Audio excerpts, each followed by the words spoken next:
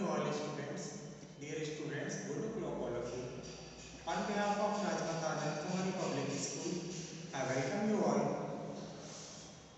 for class 7, subject science, chapter 5, acids, bases and summary. Today we discuss about properties of acids.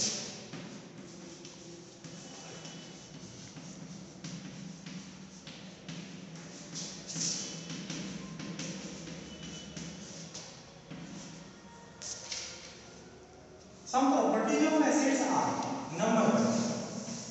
acids taste soap acids taste soap सभी acids जितने भी होते हैं उनका test कैसा होता है सो खट्टा टेस्ट होता है secondly acids are very corrosive when concentrated acids को जब कंसेंट्रेशन किया जाए कंसेंट्रेशन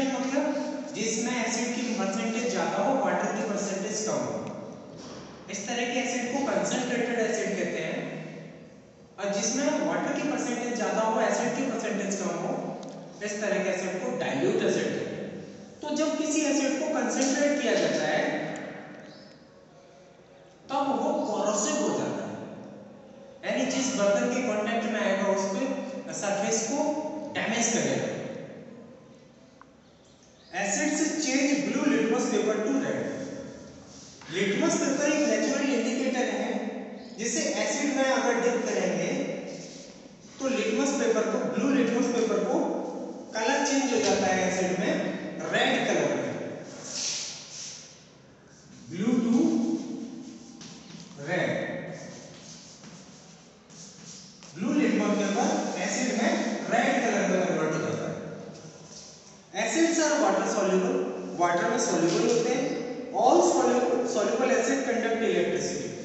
जितने भी घुलनशील एसिड होते हैं अम्ल होते हैं उन सभी में इलेक्ट्रिसिटी कंडक्ट होती है विद्युत के स्वचालक होते हैं acids react with bases to give salt and water acid base के साथ रिएक्ट करके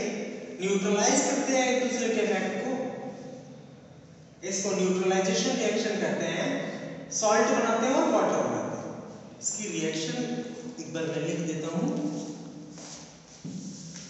acid react with, for example, acids plus base